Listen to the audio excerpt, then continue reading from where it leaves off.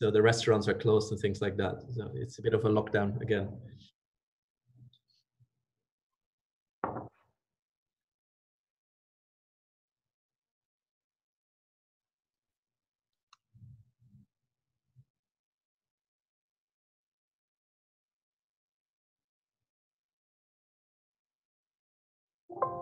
so the restaurants are closed and things like that. So it's a bit of a lockdown again.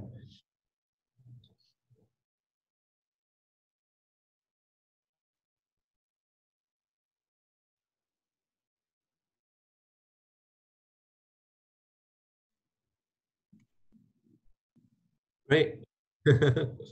Hello.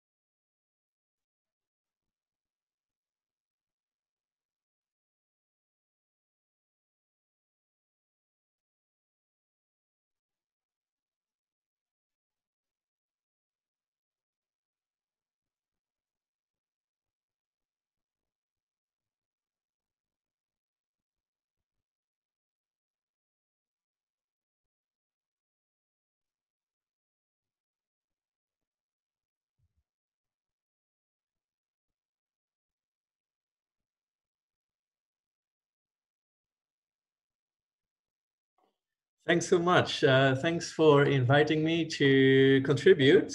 And um, yeah, as you mentioned, it's very nice to join again one of the AA visiting schools uh, because even though I'm now since two years in Hong Kong, before that I was uh, for a long time, as you mentioned, in AA and also um, doing several of the visiting schools. So it's nice to be part of that program.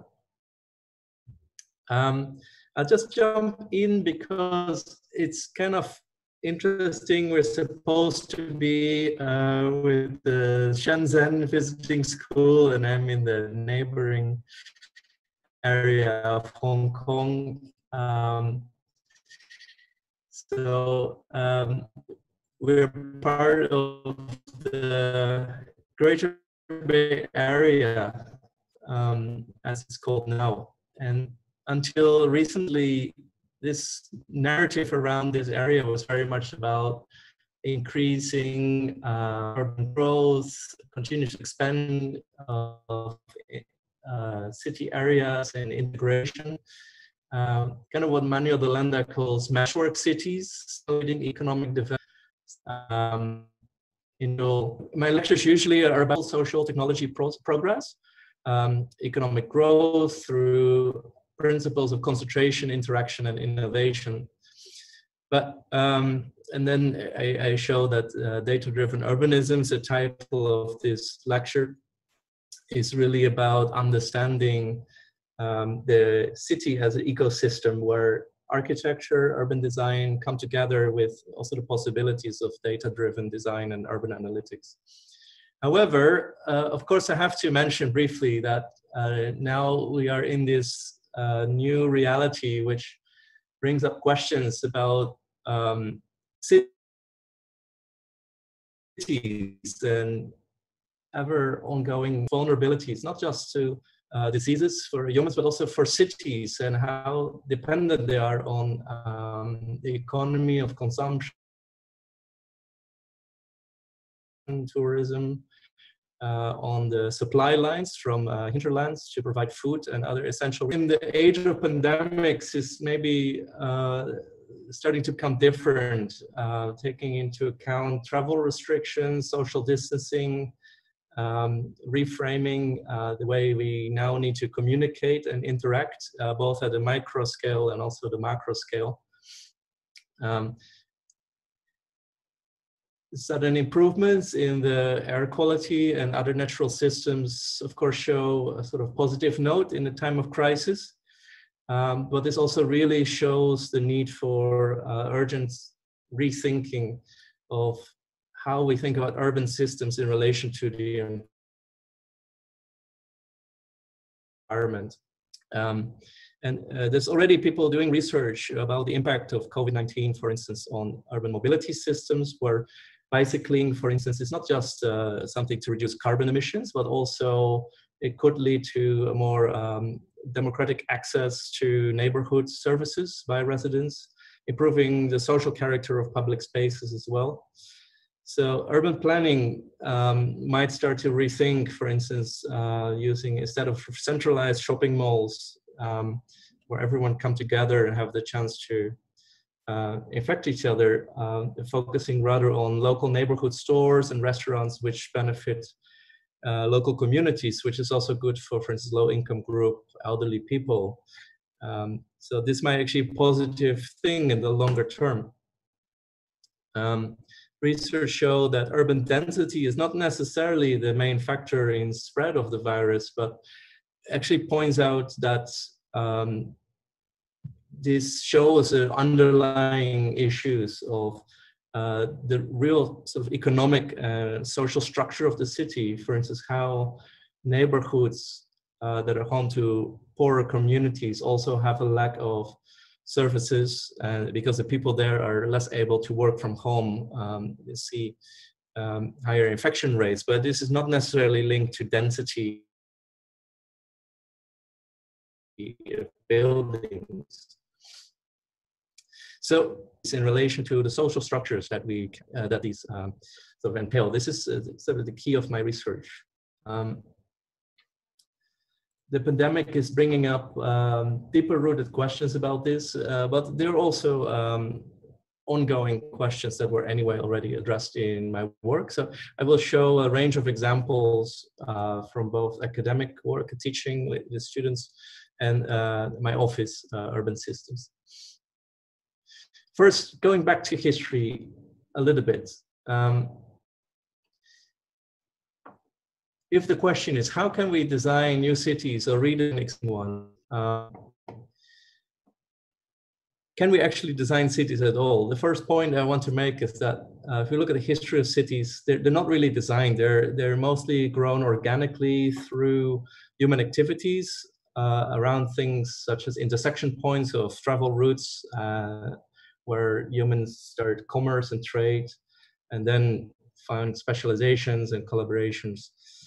So um, cities like London, which really grown around crossing in the river, um, very much grown based around the principle of market economics, um, which of course has positive and negative sides. London also famous for, uh, in the Victorian times, um, these really squalid conditions, exploitation of labor, substandard and sanitary living conditions, and other social problems as uh, illustrated here by Gustave Doré in the 19th century. So the origins of city planning are really uh, coming out of this antidote for um, or, trying to find a solution for the very unhygienic and slum-like conditions of cities that are grown out of uh, purely economic uh, mechanisms. Um, Le Corbusier, of course, famously promoted the functional city planning principles as one of the cornerstones of modernist movement.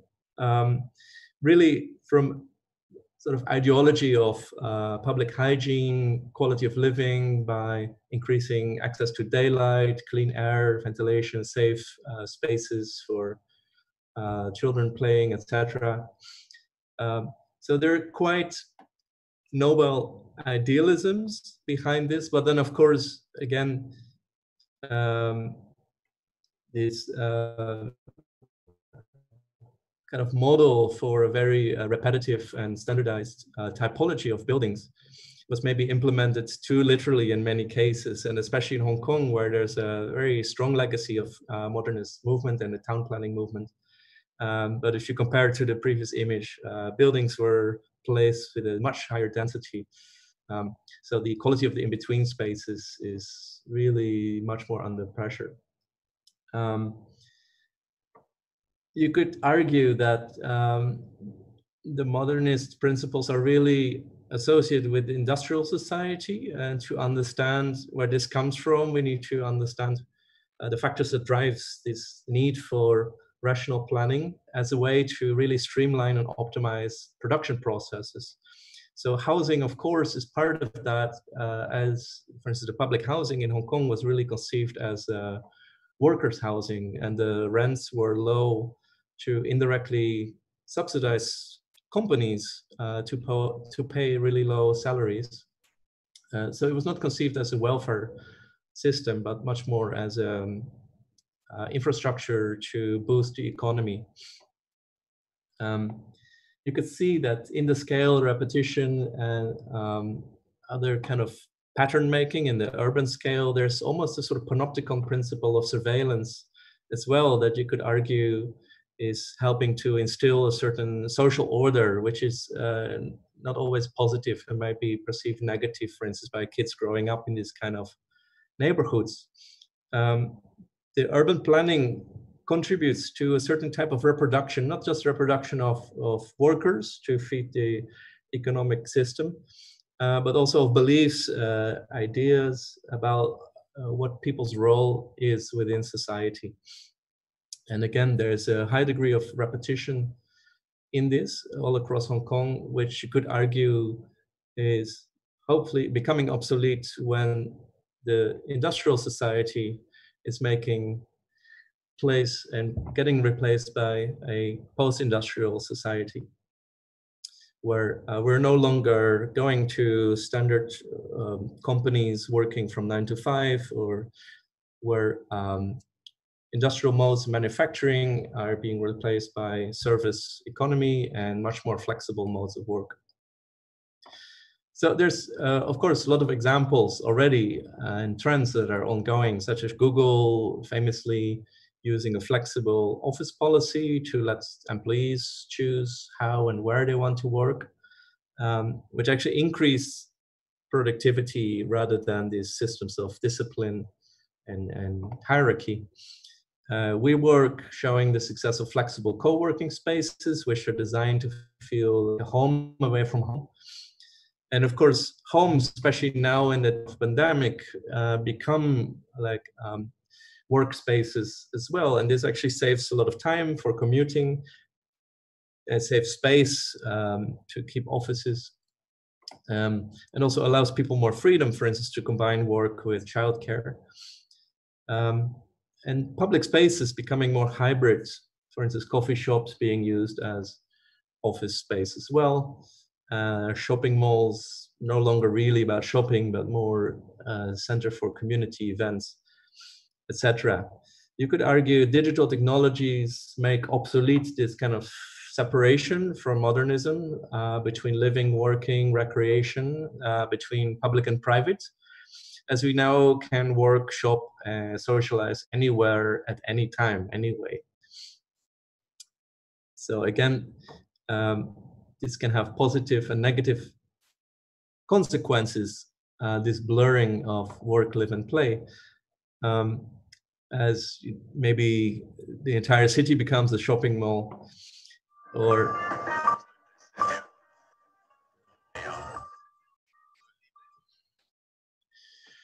sorry, I run without the sound. Um, or uh, the public space and the experience of going through the city becomes kind of saturated with uh, sort of consumerist messaging and advertising. Um, so how do we think about this and respond to this? Um, Lewis Mumford uh, already in 1934 in his book Technics and Civilization wrote about the neo-technic age where humanity would no longer be obliged to adapt itself to the hard mechanical rhythm of the machines. Um, but a new type of soft machines will be introduced that adapt themselves to the dynamic flow of organic life. So you could argue that um, the current state of social media is already a form of augmented reality, which offers practical convenience in exchange for ever closer monitoring and merging of consumerist economy with everyday life. Uh, architecture as a choreography of spaces and activities is complicit, you might argue, uh, in creating these kind of crisis conditions, especially if architects contribute to the production of housing, for instance, only as a mechanism for investment driving economic growth rather than seeing housing as a basic human right or a strategy that cities can employ to provide a basic uh, quality of living. So for this video about young people living permanently in internet cafes in Japan shows this kind of crisis um, where also it is well known that uh, some young people in Japan do not even choose to date anymore because they cannot uh, deal with the prospect of having to have uh, successful career and uh, marriage uh, in the way that is defined by society, which becomes uh, too unaffordable for them. So you could argue that the basic principle of um, cities to support social human relationships is failing in these kind of scenarios.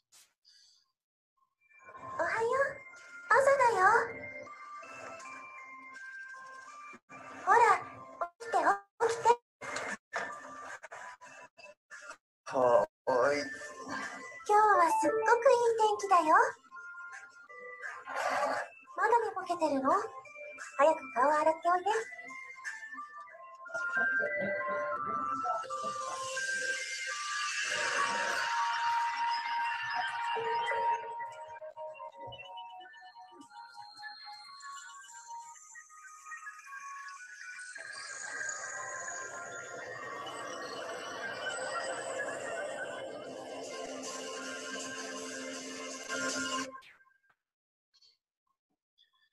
So this is a real product on sale now in Japan, which I find actually very alarming, and it points to problems um, not just with housing, but maybe in a larger sense in society.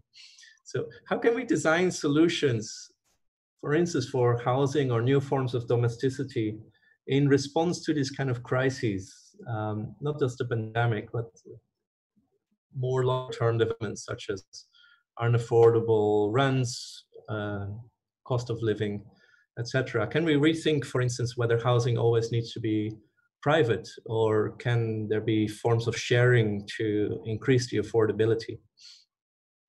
Uh, in London, this is already happening with companies such as the Collective, for instance, marketing co-living to young professionals as a way to extend their social and professional networks. And um, our student Woojin Kim, for instance, in the AA Intermediate 6, analyzed their building designs and proposed an even more radical version where the size and locations of the units can be adapted based on the resident's need and budget.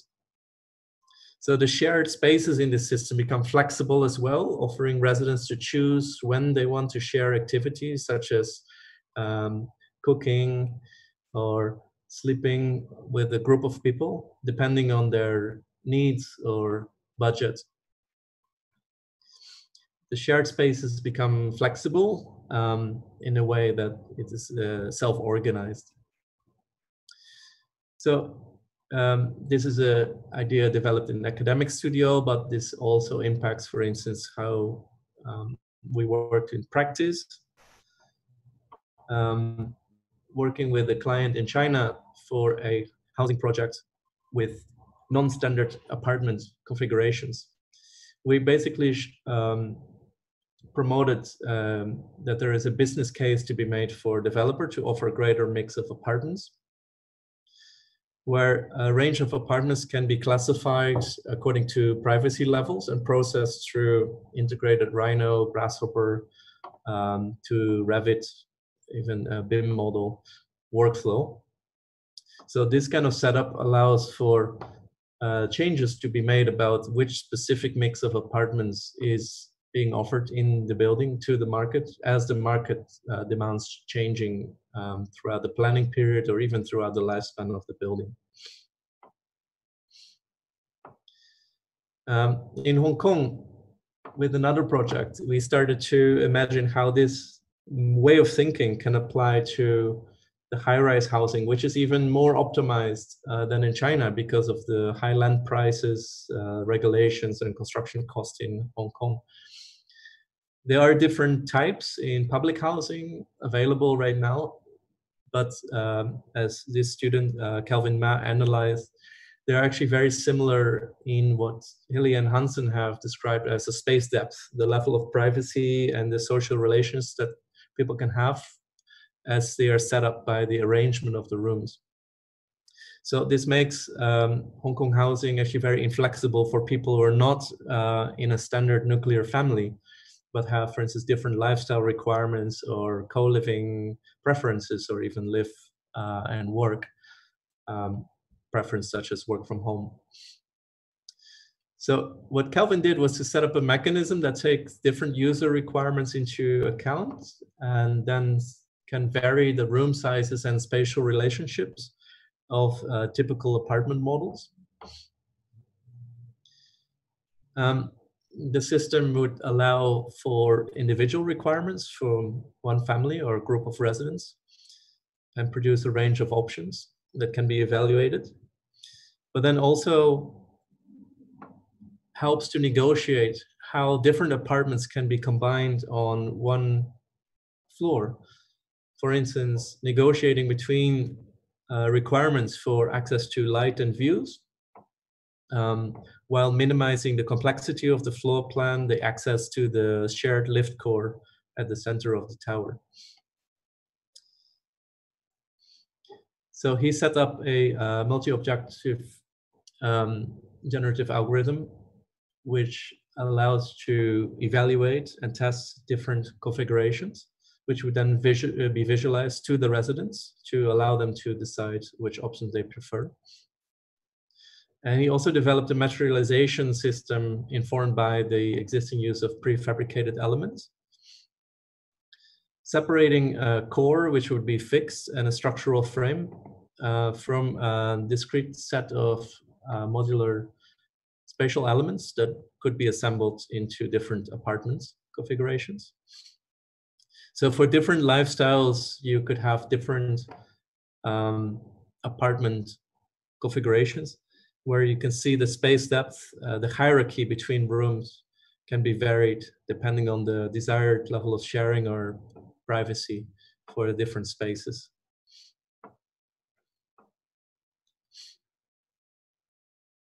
The tower as whole would never be finished, but actually always be in the process of being reconfigured.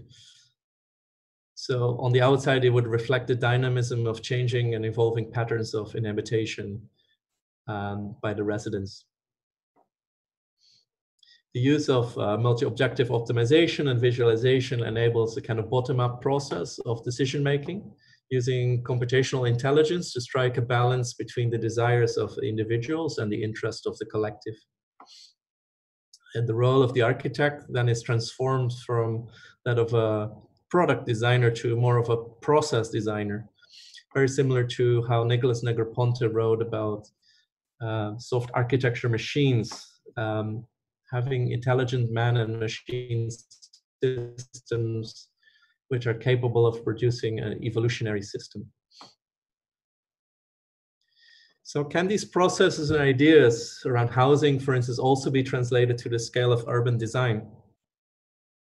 Jumping back again to office projects, um, this is an example that blurs the distinction between architecture and urbanism. Um, as the basic principles about mixing activities and setting up relationships are pretty much the same at any scale, in our view, Uh, for instance, when we designed this office tower um, to resemble a vertical village, stimulating social interaction between different offices across different floors. Even the small pavilion scale, uh, we can test these principles of um, a kind of data-driven urbanism and placemaking using, for instance, computational processes to understand the circulation and viewing lines, and then um, generating a series of play spaces with varying privacy levels uh, on the inside, uh, blocking the views from the surrounding, uh, in this case, uh, atrium of the shopping mall. So we can jump across scales and see how these principles translate. For instance, when we deal with an entire urban block, we still can have a range of housing typologies be guided by ideas about urban porosity, uh, sightlines, uh, creating privacy or openness in different parts of the site. In this case, for instance, we created first a series of um, urban block typologies based on courtyard principle, which then can also transform into a standard tower um, typology. And distributed across the site, we would then create in response to site conditions such as busy roads in the corners and the orientation to the sun. Uh, we create a sort of gradient field of different courtyard conditions with a central garden space to which all residents have clear lines of sight. So um, the project has separate small living communities for the residents, but they're also visually connected to a central uh, group of facilities at the heart of the project. As the project was intended for mostly elderly residents, um, the emphasis was placed on active and passive recreation facilities to promote healthy aging, well-being through social interaction. So um, back in academic work, we continued this research around how circulation and lines of sight within housing affect the social interaction amongst residents, for instance, of public housing estates. Um, this project, for instance, analyzes the walkways and footbridges and whether these exert a certain sense of control or give a sense of freedom uh, to people when they're deciding how to move through the site. In this case of uh, Wo Che Estate, which is analyzed by Tim Chow, there's actually a very central uh, corridor of elevated pedestrian walkways, which forces people kind of to take the same route every day, um, which is separated from social spaces. So it becomes very monofunctional and in that sense, um, antisocial almost. There's other models which you can learn from precedents to organize these kind of networks in a way that creates more freedom of choice and also integrate public spaces, for instance, in people's daily commute, giving them a sense of uh, freedom about how and where and when to socialize with fellow residents. So this leads to another important principle in urban design that of appropriation, or in other words, not designing everything, but actually leaving certain spaces open to local residents to do what they want. Uh, the same project by uh, Tim Chow, as mentioned, was developed along these lines and principles, where he used the space syntax principles of network connectivity and integration to, for instance, predict social interaction across public housing estates that would be um, re uh, redeveloped in Hong Kong in the coming years.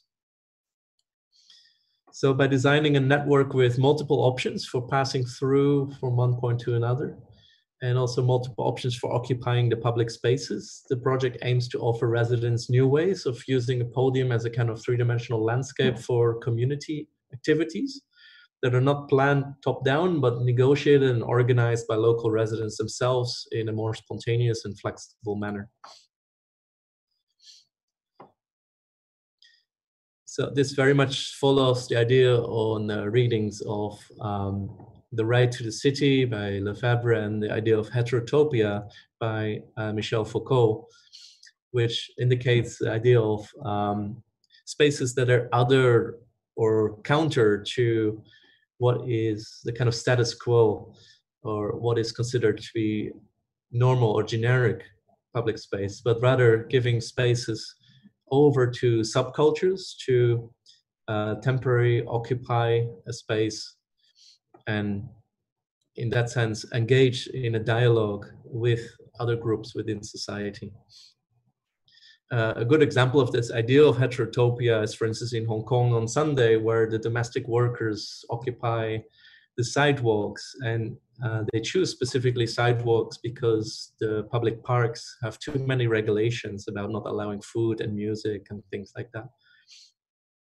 So um, we studied a lot this relationship between management and urban form and whether we can design systems that are not about control or celebrating uh, the companies or institutions that are around these kind of very central urban spaces in Hong Kong, but rather maybe these spaces are designed deliberately opaque, um, a bit messy, like a maze of different kind of opportunities for people to inhabit and appropriate uh, small pocket spaces, maybe different kind of seating, um, temporarily making this their home, um, showing off different cultures, not uh, divided in separate zones across the project, but deliberately organizing them in a way that stimulates people from different cultures to also come into contact with each other.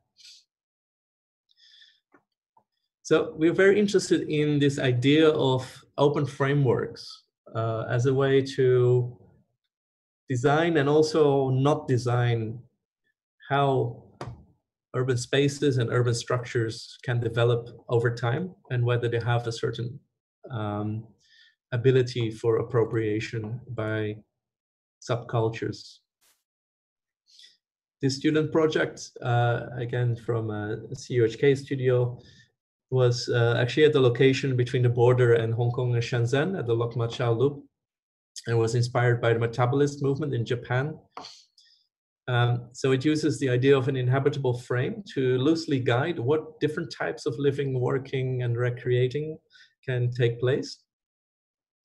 Where the frame is kind of imagined as a subsidized infrastructure, making it easier for local residents to create startup companies or set up co-working, co-living spaces in a kind of self-organized way, um, where the only thing the architect decide, decide, decides uh, and designs is a kind of the voids and the relationship to the landscape, for instance, to provide basic uh, amenities such as access to light, views, recreation, a public space, while letting the internal processes of the open framework be controlled by the residents, which are then also open to uh, flexibility, it changes over time.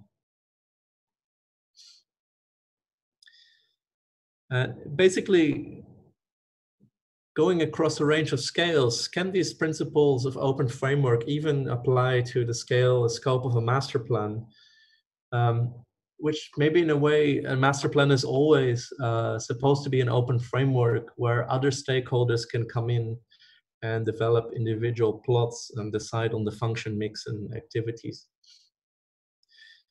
So in our office, um, we designed this master plan in uh, Changsha, um, also as a kind of open framework, um, but using generative design to try and script the zoning of a pub, uh, urban fabric and public spaces, creating a range of urban block types with different qualities of space, either having public space on the corners uh, or having internal courtyards and letting the um, urban fabric and spaces be generated from the public domain.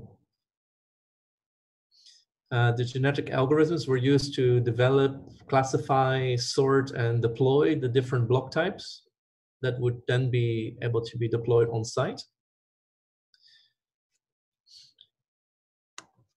So this kind of process allows for the automated generation of um, hundreds or even thousands of options and then calculate their spatial performance in relation to, for instance, sunlight analysis other factors such as the plot density, the green ratio, etc. and then using a kind of um, spatial quality mapping onto the site, the software process would pick the right block typologies and place them onto the site, assembling a larger urban fabric with a sort of gradual changing range of urban qualities and densities and different relationship between public private.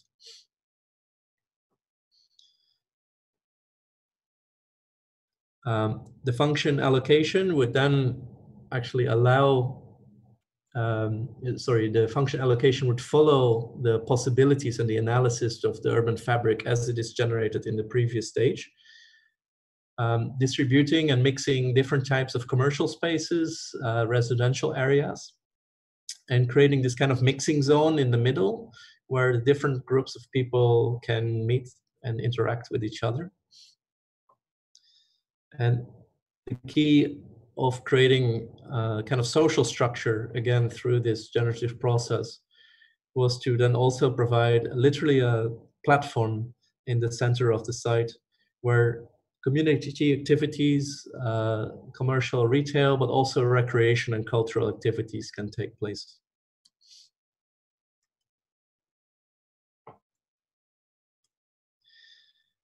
So finally, can we go even further when we arrive at this scale of reimagining entire parts of the city based on possibilities of generative design, urban analytics, and how data can drive our understanding of how users and the environment interact with each other.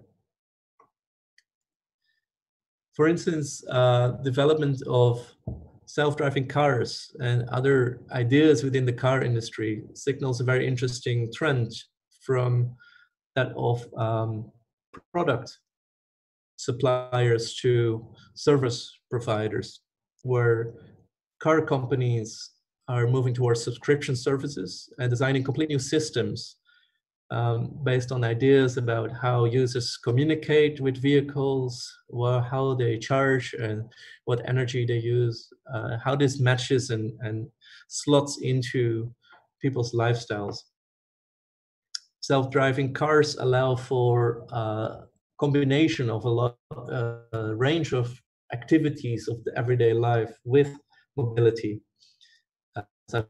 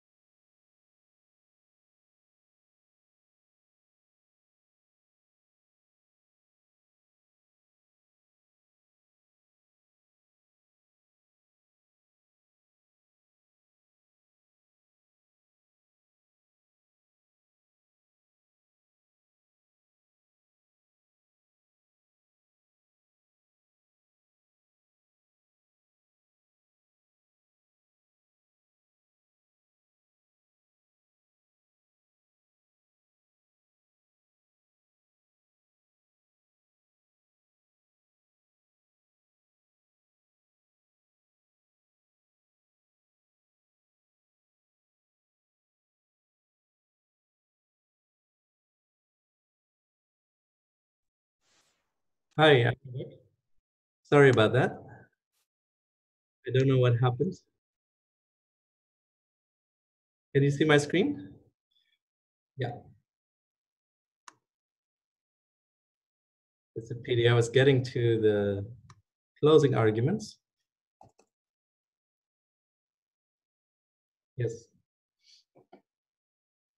So the self-driving cars don't need fixed lanes in the surface of the city um, marked by barriers, uh, traffic lights, zebra crossings, etc. But it could be operating in a flexible field because of the sensors that allow them to avoid pedestrians and adapt in a flexible sense to the supply and demand of groups of people in the public domain. And uh, this project by my student uh, George Lau took on Tuen Mun in Hong Kong uh, as a case study, which is one of the new towns which is entirely designed around uh, car infrastructure and also very heavily designed infrastructure for public transport. And what's very interesting, the original and the current land use maps show the transition from separate living and industrial areas to much more mixed kind of tapestry for uh, post-industrial activities. And this allows to rethink, for instance, a site such as Tuen Mun Town Center, which is currently very much planned around traffic lights, um, stops for public transport, uh, barriers to give safety, but actually resulting in very narrow sidewalks for pedestrians and um, people having to go all the way around to try and get to other areas of the city. Uh, and this can now can be reimagined as a kind of um, open field of possibilities because the spaces occupied by the roads can be given back to the public there may be some kind of uh, digital traffic control system which allows still slow moving vehicles into this territory, but at the same time prioritizes pedestrians and social activities. So the street becomes a much more dynamic, self-organized and user-centric public domain where pop-up markets or food stalls or meeting rooms, temporary office space are being allocated uh, through uh, apps on people's phones and a central brain that allocates spaces when and where they are needed. And maybe even at night, uh, this space becomes a space for dwelling where people are allowed to sleep in other kinds of vehicles as an alternative to the overpriced and difficult to access housing market of Hong Kong. So this um, is the kind of final image of the lecture showing the mixing of living, working, shopping, and recreation as a kind of glimpse, uh, brainstorming exercise into a world of new possibilities when we engage with data-driven urbanism. There's a small video to conclude which shows some of the further consequences as uh, the students thought about when we introduce um, self-driving vehicles and rethink the public spaces in these new kinds of city.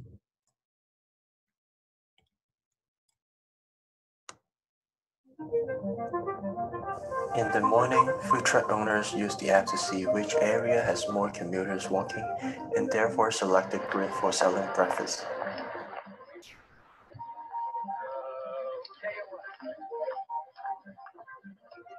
The system defines a street for commuters to walk through. Meanwhile, shared self-driving cars keep seeing the surroundings before moving.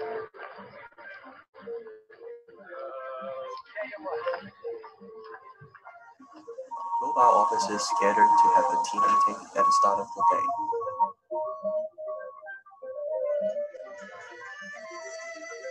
Residents practice Tai Chi in front of the mobile screen which also activates the plaza behind.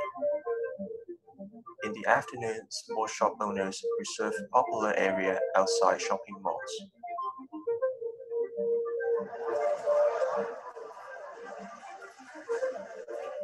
Temporary streets and plaza are articulated with mobile shops and public seatings.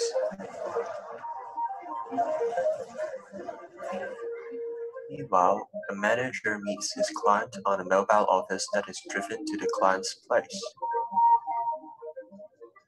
The common ground also allows Dharma singers to perform outside the park without confronting with other park users.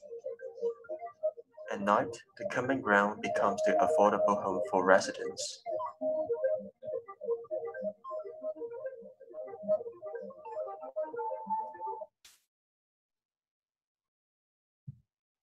Thank you. That's that's it.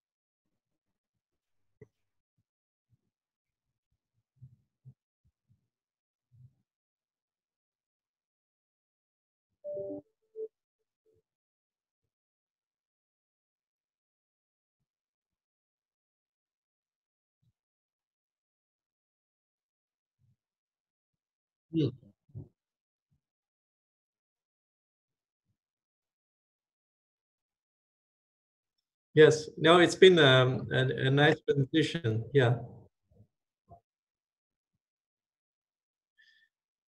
Um, shall, shall I talk a bit about that? Can you hear me? Okay. It says my internet connection is unstable, so I'm a bit scared that I drop away again. Um, it's been really fun to move to Hong Kong because there are a lot of interesting challenges here at a different scale from London. Of course, in London, we always looked at different parts of the world, uh, but here we can really visit and go very often to these kind of sites which are very high density with very tall buildings and very uh, limited amounts of in-between space. So the pressure is more clear that there is a pressure to develop the very little available land that is actually flat in Hong Kong um, with as much housing as possible. So all the housing here is uh, at least 33 stories, 40 stories, 180 meter towers. Um, and then it's a completely different reality from being in London, for instance, and, and uh, theorizing about these issues, um, when you can actually see that obviously um, there's a pressure as well on the uh, local residents, and you see uh, how small the apartments are and um, how stressed people are about the lack of public space uh, for basic needs. Uh, um, public space is not just something that is a kind of a luxury for having fun, like doing some recreational activities, but it becomes clear if you have a very small apartment or maybe even a big family in a small apartment that these spaces are very crucial for keeping a sort of uh, mental health and um, social network, uh, especially for people that are elderly, for instance, um, otherwise very isolated in old buildings and old uh, blocks. So this is, it gives a more sort of a realistic sense to the work, but then of course what I can bring from uh, having taught in London before is still uh, hopefully with the students working um, uh, with them to sort of give them the opportunity to think outside of the box and be quite um, you know visionary and try to propose uh, solutions that break the rules a little bit because a lot of the students here are um, not so quick in thinking about very unusual solutions uh, in the way that you know the um, yeah the cities just shows all these constraints. So in that sense it's it's an interesting collaboration and hopefully win-win situation.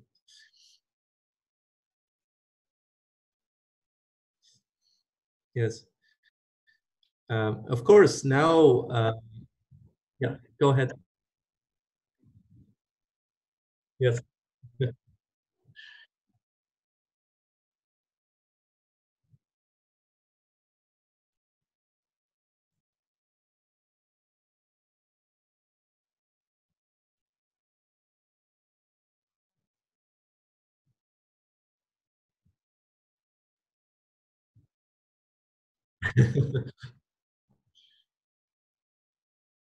hmm.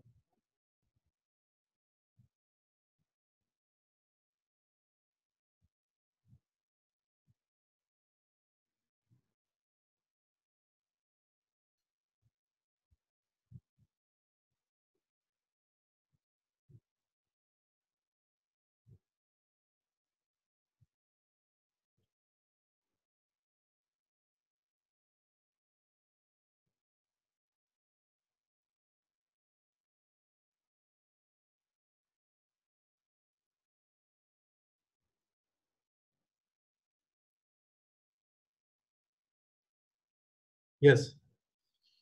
Um, this is a very good question because I wish I could do a lecture about that, but I don't have enough work yet.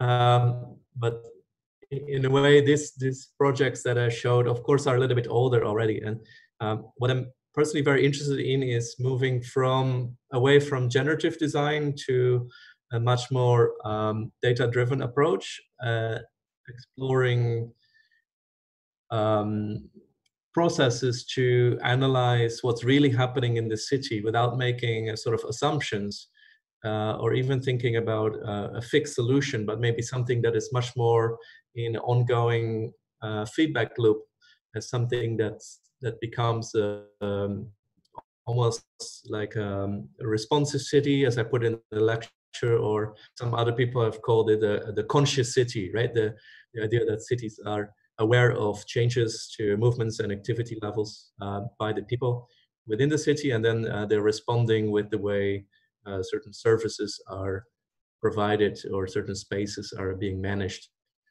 Um, so uh, I didn't put that in this lecture because all of the videos that I'm collecting currently and uh, some of the testing that we're doing um, are um, not yet finished and or, or done by others, such as you know MIT um, or in Singapore. Um, but we are currently working towards this in Hong Kong as well to have a sort of urban analytics uh, group of people that are using uh, the big data available in the city from the city from the users um, to start to try and map out patterns of ever use, understanding what different demographics, uh, different types of people are doing on an everyday basis, how their movement patterns are, how their activity um, patterns are, uh, how where they interact uh, in a social capacity. So, and, and can we then start to compare uh, certain aspects of urban form with those real um, analysis of the real data from the city and therefore understand which configurations of urban form really work, uh, which configurations of public spaces are actually preferred by the real um, people, not based on assumption of the designer, but by showing and understanding the real use of, of uh, people and how they sort of in, instinctively and intuitively respond to the atmosphere and the quality of space in those places. So this is a much bigger topic, of course, and um, there's many people working on this. But uh, personally, this is what I'm most interested in and uh, working towards for the next couple of years.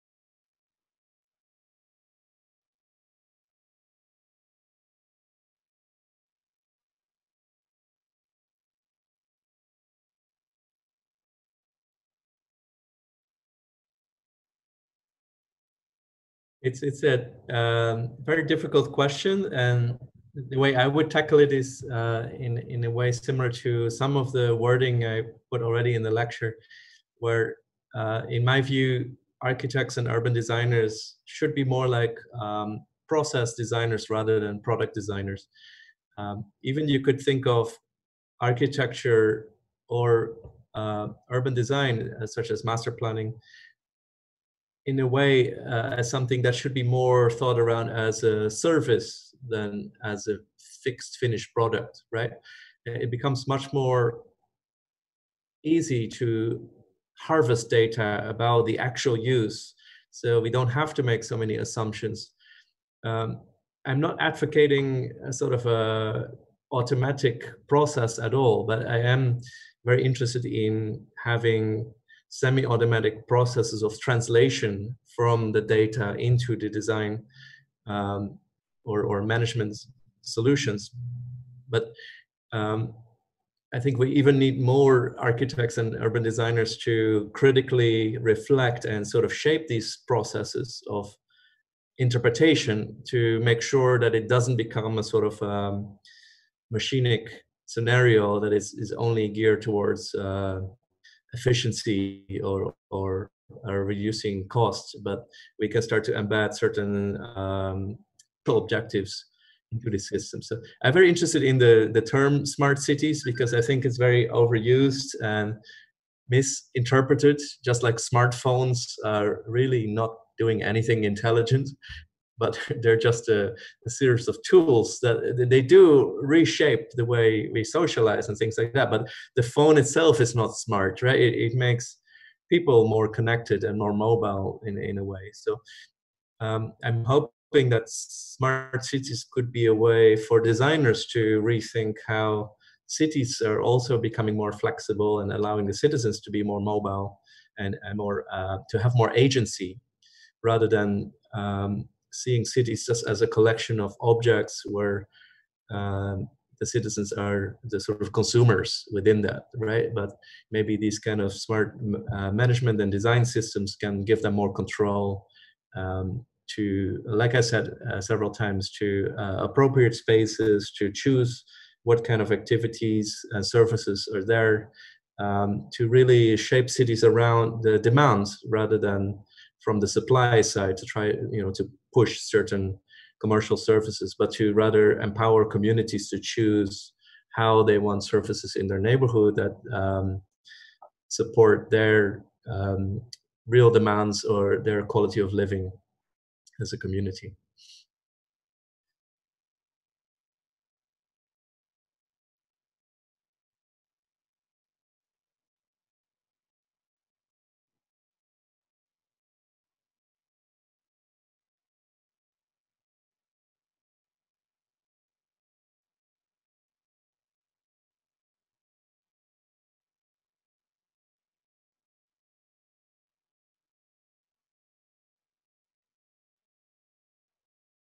Huh.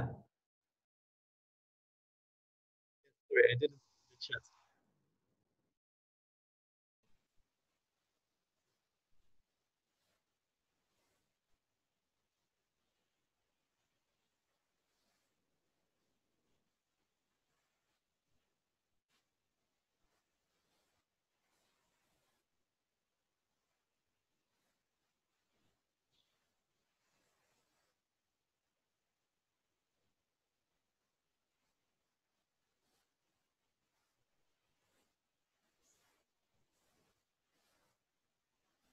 Yeah, exactly. Yeah. Yeah, exactly. Yeah. Thanks. Uh, thanks for your question. Yeah. Um, this is absolutely the potential and uh, was already in that project the idea that um, all the road markings are gone and you just have a shared surface where pedestrians share with maybe bicyclists or mobility scooters or self-driving vehicles that um, especially in the city centers, right? Um, they are allowed, but at certain maximum amounts and with certain maximum speeds and also a certain security protocol to give priority uh, to pedestrians, just like you see already in Exhibition Road in London, for instance, or other shared surfaces. Um, and I think that the um, exciting bit is to imagine what these uh, vehicles are going to be and whether they can actually be part of the urban landscape just like um, you know markets are a kind of a temporary village right? Maybe really depending on supply and demand just like you see you know swarms of uber drivers descending on nightlife districts at the time that the bars are closing right? You, you can imagine that if um, people getting up in the morning uh, the breakfast uh, food trolleys are kind of swarming around the housing projects and you can pick up your donuts or your bagel uh, and maybe also get a ride to the train station uh, for your regional transportation. Um, so you can start to combine these experiences rather than seeing travel as a necessary uh, block of time that sort of slots into your daily routine that can now be also a meeting or a, a shared meal or even a bit more uh, relaxing and resting and, and, just understanding that many people are doing this at the same time and, and also more exciting to have a range of choices uh, to see you know different kind of food trucks for instance popping up for lunch. You have all those different foods to choose from or um, different options for different payment uh, price levels. If you want to travel privately uh, or you want to save some money and, and go with eight or 16 people in a little sort of bus type thing, right? Um, and then um, maybe have a nice chat as well with some strangers, depending on your mood. So yeah. this going to reshuffle a lot of um, things we currently for take for granted or or see as separated issues. Uh, there may be a dark side, you know, commercial interest moving in and advertising and, and, things. You know, McDonald's may be always in front of your door in the morning uh, offering ride for free as long as you buy their breakfast, right? Um, so there has to be some kind of oversight and, and critical thinking from urban designers as well to not make this uh, just a completely um, market-driven spectacle as well. Thank you. Uh, yeah, that that is a definitely very interesting and thought-provoking vision, um, especially the the analogy or metaphor of a flock of Uber flying Uber taxis flying in uh, at night, like flock of pigeons, sounds really interesting. Right. Uh, something that would yeah that would be crazy to see. Uh, that also uh, like and then I, I I'm starting to maybe this sounds like a daydream, but now I'm starting to speculate even further. Where um, where I was reading about Tesla's vision of automated driving and how they speculate that when all the vehicles on the road are uh, automated, basically there is no such thing as traffic or turn signals because they are fully coordinated with each other. And so it will be more like uh, a blood vessel where we see cells flowing through and vehicles and people will be moving through like that. And now with this la- another layer of um, vision where we see a grid of sensors overlaid on top of the the city uh, infrastructure, so that you know roads themselves can be. It doesn't have to be fixed anymore. It's it's such a such an interesting vision. Yeah. Yes. And we already have the sensors, right? You have it in your pocket so you don't even need sensors in the in the road uh, because um, you know every human in a way is a is a sort of uh, augmented sensor right? It's it's um, their their eyes their ears uh, smell etc plus the the digital uh, surfaces uh, information that we all receive and, and feedback to others around us.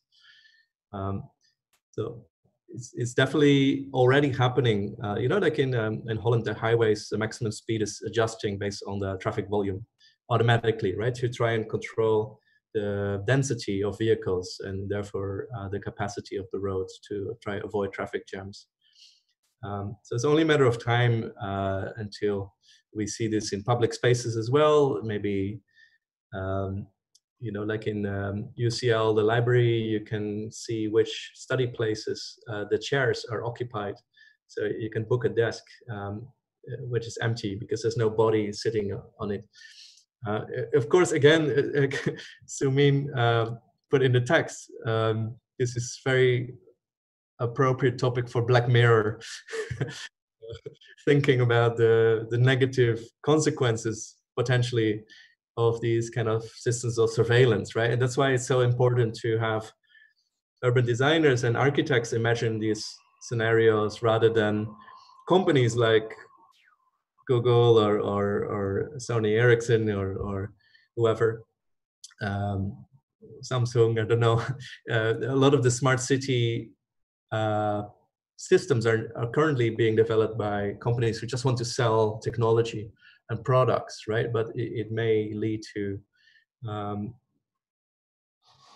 the wrong kind of uh, management systems that is not really in the interest of the the users, more in the interest of the electricity companies or the uh, insurance companies or whatever. So yeah, we, we have to be very critical, just like uh, Rem Koolhaas when you read his uh, talks about the smart city is, is, very critical about it and um, feels that it's it's too much power in the hands of the technology providers.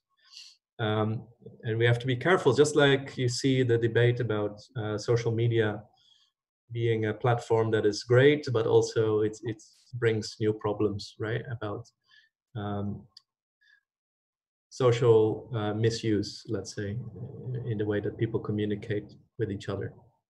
So the same way, if, if we overlap overlay these systems into the city, there's new questions about um, whether that should be part of completely free and open system or there should be forms of regulation.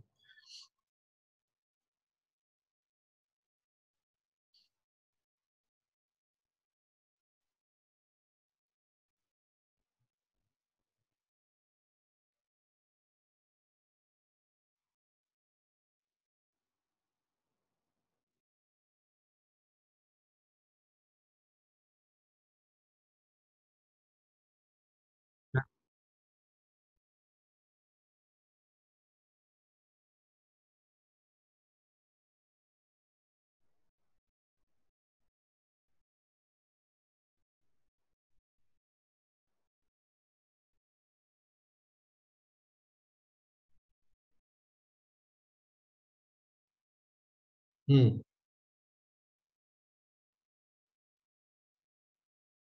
Yes. Um, again, I have to give credit to my student uh, George, who um, worked uh, a lot on this topic and uh, also inspired me a lot with this project. Um, he found, for instance, that um, there's a type of self-driving car uh, platform which uh, imagines that the drivetrain and the batteries is separate from the capsule that goes on top um, so when you run out of battery, you don't need to lose the whole vehicle for recharging, but you just uh, take out the drivetrain and then you swap that out, just like a, a power drill. Uh, you can swap out the battery pack. Um, so that sounds great, but actually that would create a lot more uh, need for infrastructure, uh, almost like a sort of a new parking system for those vehicles. Um, so, and George actually imagined that they could be in vertical towers, just like some of those automated car uh, storage systems, which you know automatically plug in the cars into a sort of a rack for storage. Um, and he he drew them into his projects uh, to save space, obviously, uh, to free up the land, um, but also uh, because um, it, it, only works if those uh, storage for uh, self-driving vehicles or charging points, let's say, are, are very closely distributed to the places of demand. Otherwise, you still get a lot of congestion uh, of having cars drive to the periphery and back. What happens with parking lots? Um, you, you, they theoretically could all be freed up, right? If there's no more private ownership, but just uh, you know different levels of basic to luxury rental. Um, um, it's it's the same question as you know who owns the city and, and what is the tension between uh, public and private um, investments in, in, the development of the city. Uh, in LA, it's very difficult to imagine that the government would step in and buy a lot of the parking lots to turn them into public spaces, right? So the danger might be that if um, owners of the lands can no longer make money with using them as parking lots, they will just start developing them and uh, the result will be less amount of open public spaces in the city. Um, unless there's either another commercial reason uh, to think of um, um, developers using public space or privately owned public space, like you see, for instance, in Hong Kong, in front of shopping malls, um, certain shopping malls, uh, they have privately owned uh, plazas um, just to create a sort of um, uh, additional attraction to bring people into the mall. Um, or there would have to be some sort of scenario where the, the role of the government is, is expanded, right, to, to operate more um, public spaces than they currently do, uh, which is a different discussion uh, and, and, more difficult to imagine. Uh, but it's very interesting what would happen with all those parking lots and whether they can turn into um, real public spaces which are owned by the public and where the public can decide what happens there or you know they could maybe be owned by the self-driving car companies to either store their vehicles or uh, have some kind of interaction between people and the vehicles on that on that land.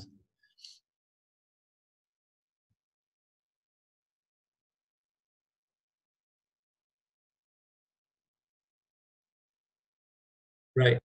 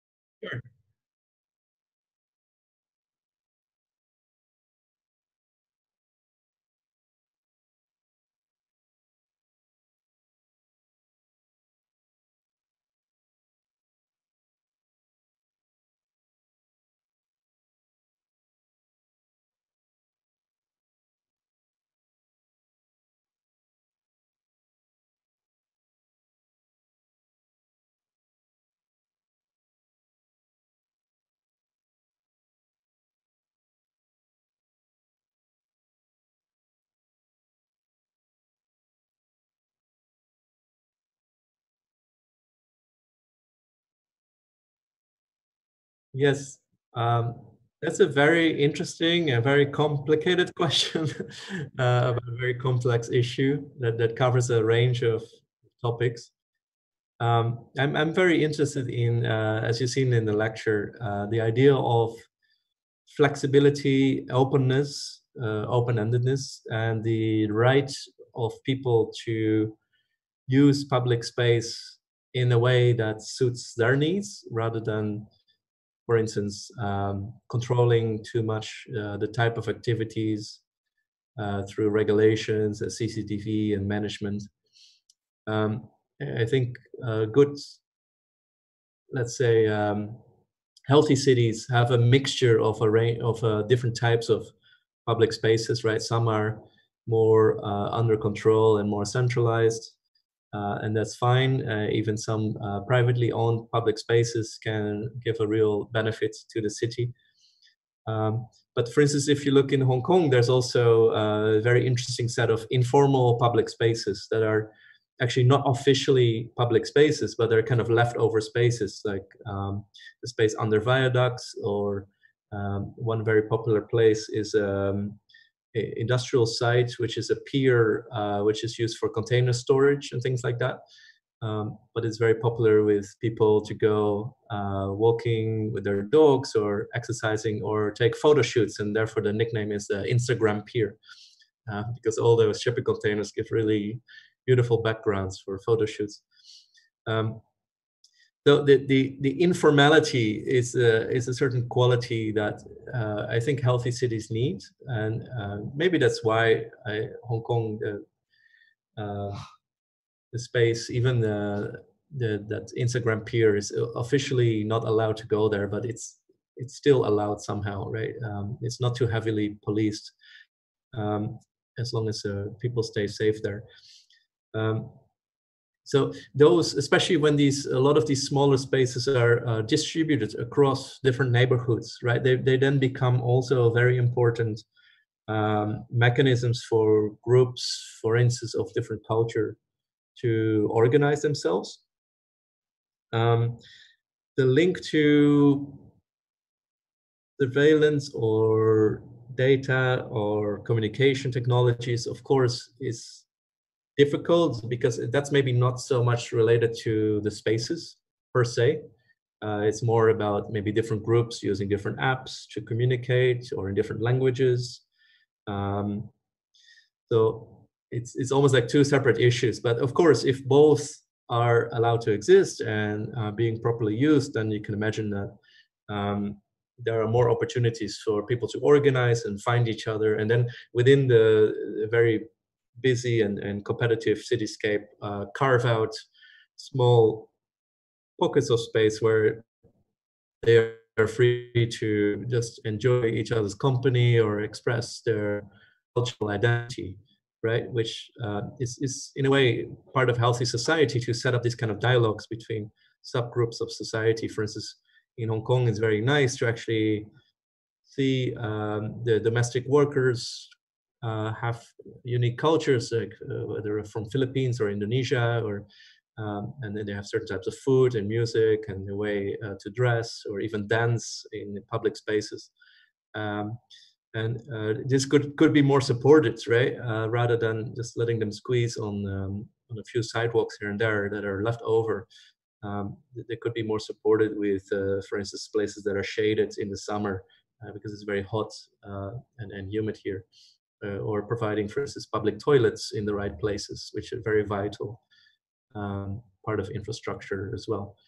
So um, one way is is about the the sort of management philosophy or or even the the you know the deliberate reduction of management of certain spaces and then the other um, is just to sort of welcome um, different cultures to be part of the exciting mixture of, of people and, and of all kind of backgrounds and, and um, cultures that the interesting cities have, right? maybe I'll leave. There's a, kind of talk a lot more about this issue, but uh, yeah, it's. Uh,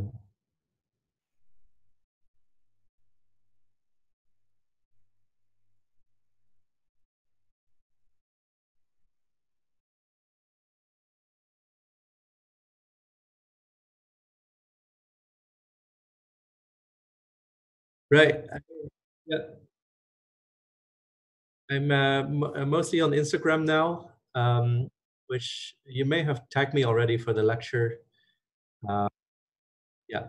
Otherwise, uh, I can share with you, with your students. Yeah, my name is uh, Urban Systems.